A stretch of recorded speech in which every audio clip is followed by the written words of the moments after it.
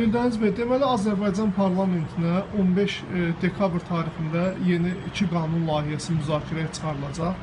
Bunlardan biri e, Azərbaycanda kütləvi aksiyalar zamanı hər hansısa bir e, qa- qanunsuzluq baş verərsə, yəni itaətsizlik baş verərsə, buna milli ordunun müdaxiləsinin leqallaşdırılması, digəri isə seçkilər zamanı vətəndaşların şəxsiyyət vəsiqəsi olmadan gəlib səs vermə səs vermələridir. Yəni bunlara istəyədik zəhmət olmasa münasibət bildirəsiniz. Bu qanunlar nə dərəcədə mütərəqqidir?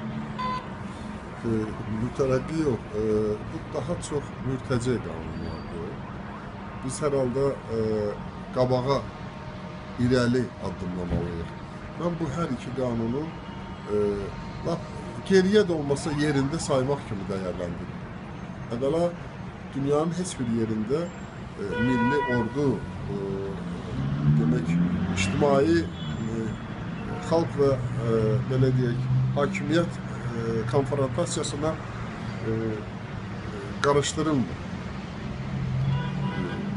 İkinci Azərbaycanda mənə gəlir ki, heç vəziyyət də o cür deyil ki, xalqa qarşı ordunu xalqa və yaxud da etiqadçılara qarşı ordudan, milli ordudan istifadə eləsinlər. Mən bilən bu yol verilməzdir. İkinci o ki qaldı, şəxsiyyət vəsiqəsi olmadan səs verməyə e, Azərbaycanda seçkilərin tam əksəriyyəti çox böyük saxtakarlıqla keçir. Bunu inkar elə, eləmək qeyri-mümkün. Və karusel əhvalatı və s. və ilaxır.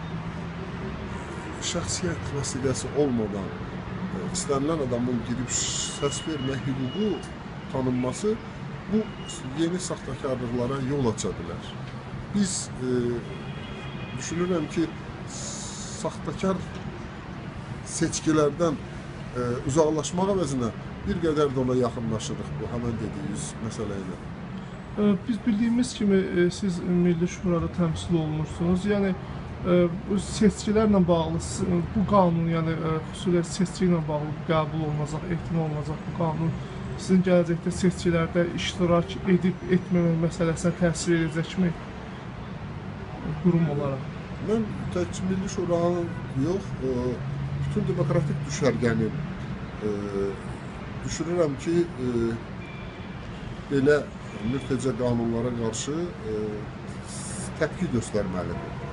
O cümlədən Milli Şurada. Amma heç hələ Milli Şuranın seçkidə iştirak edib etməməyi hələ məlum olmadığı üçün Ben bu barada e, istemiyorum konkret sözler.